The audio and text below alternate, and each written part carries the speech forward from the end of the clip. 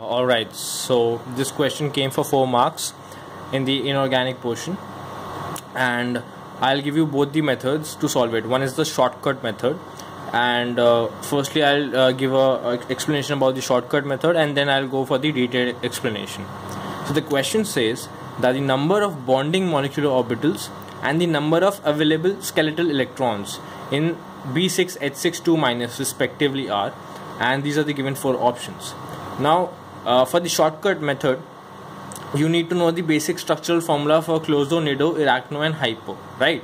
So uh, for closo, it's bn hn2 minus where n is any integer okay? Uh, and uh, positive in integer obviously. And then uh, bn hn4 minus is for nido bn hn6 minus is for arachno and bn hn8 minus is for hypo so this is the basic uh, structural formula for closonido, arachno and hypo. Now if you need to find out the skeletal electron pairs then for closo it's n plus 1, for nido it's n plus 2, for arachno it's n plus 3 and for hy hypo it's n plus 4 where n is the number of boron atoms present. Okay. Now this uh, for example now it's given to us as B6H62 minus right. So there are 6 boron atoms and if you go by the structural unit it is of the form BnHn2 minus. That means it's a closo so the structure of B6H62 minus is closo and uh, according to the uh, according to uh, this shortcut method that I have given you so the number of skeletal electron pairs is how many? Say, uh, uh, n plus 1 so n over here is 6 so 6 plus 1 7 now there's one thing that you need to know that this n plus 1 is the number of skeletal electron pairs. So that means there are 7 electron pairs present skeletal electron pairs present. So the question says that the number of bonding molecular orbitals and the number of available skeletal, electrons not pair. So it's asking for the total number of electrons that are present. So that means there are 14 electrons that are present. Okay. So now so we have not narrowed down the answer to either first option or the fourth option because they both have 14 electrons present in the options right? So we can cancel out 3 and we can cancel out 2 okay? Okay. So now we need to know the number of uh, uh, bonding orbitals present bonding molecular orbitals. Now i have tried to look up the answer in lot of books and a lot of PDF from various uh, institutes, uh, but I was not able to get a conclusive answer. Like I was able to get the answer, but not the reason as to why that is happening, right? So uh, for now, I'll just tell you that how to solve it, and uh, if I uh, get the explanation i'll definitely give you the explanation as well so the formula for calculating the number of bonding molecular orbitals it's given in Mies, uh, in Miessler and Tarr right? Miessler and Tarr it's given in Miessler and Tarr and it's given as n plus 1 so the number of bonding molecular orbitals is n plus 1 where n again is the number of boron atoms right?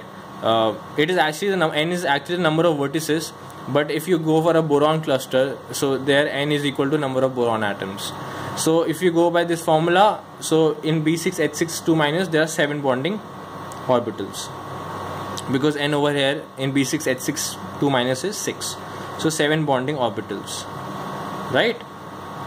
So the correct answer comes out to be first. That is 7 and 14 uh, for those of you who do not need the shortcut method to calculate the number of skeletal electron pairs though i think this is sufficient to uh, for the exams uh, because they do not ask the subjective explanation. But anyway if still you want to learn i'll just give you so the explanation. So the uh, to calculate the number of skeletal electron pairs you see the, firstly how many borons and hydrogens are there. So for each boron there are three valence electrons right? For each boron there are three valence electrons. Okay? Uh, because uh, boron has a uh, uh, configuration of 2s2 2p1 right so in its valence shell valence shell there are three electrons okay? Similarly for hydrogen there is one uh, you take one uh, it has only one electron and that's the valence electron. So so for hydrogen you take one electron okay? So now you see how many number of so we'll take the example of this uh, molecule uh, this cluster only. So you see there are six borons right? And six hydrogens. So for each boron i said you take three valence electrons. So for uh, six borons there are how many valence electrons? That is 6 into 3 which is equal to 18 electrons. Similarly there are six hydrogens right? So uh, so 6 into 1 that is equal to 6 electrons. So this comes out to be 24 electrons. Okay. Now if you see there are there's a two negative charge. So that means there are two more electrons present. So the total comes out to be plus 2 that is equal to 26 electrons. Okay? Now what you have to do is there are six boron atoms. So for each boron present there has to be one BH bond definitely. Right? So over here there are how many BH bonds? There's six borons so there has to be six BH bonds. So what you need to do is you have got the total number of electrons equal to 26 and you have six BH bonds. So I'll repeat it again that the number of borons that are present in the cluster uh, there are that many BH bonds in that particular cluster. So you what you need to do is 26 minus there are 6 borons so 6 BH bonds.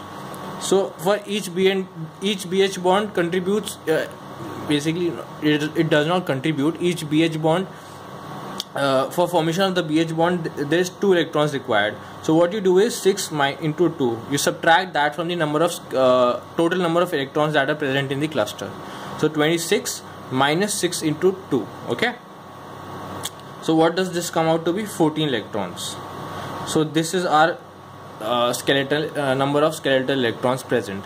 And if you if you divide this number by 2 you will get these seven the skeletal electron pairs so there are seven skeletal electron pairs in this cluster. And the total number of uh, uh, skeletal uh, electrons present is 14 electrons. So this is the uh, detailed way of finding out the number of skeletal electrons present. And this n plus 1 n plus 2 n plus 3 n plus 4 is the shortcut method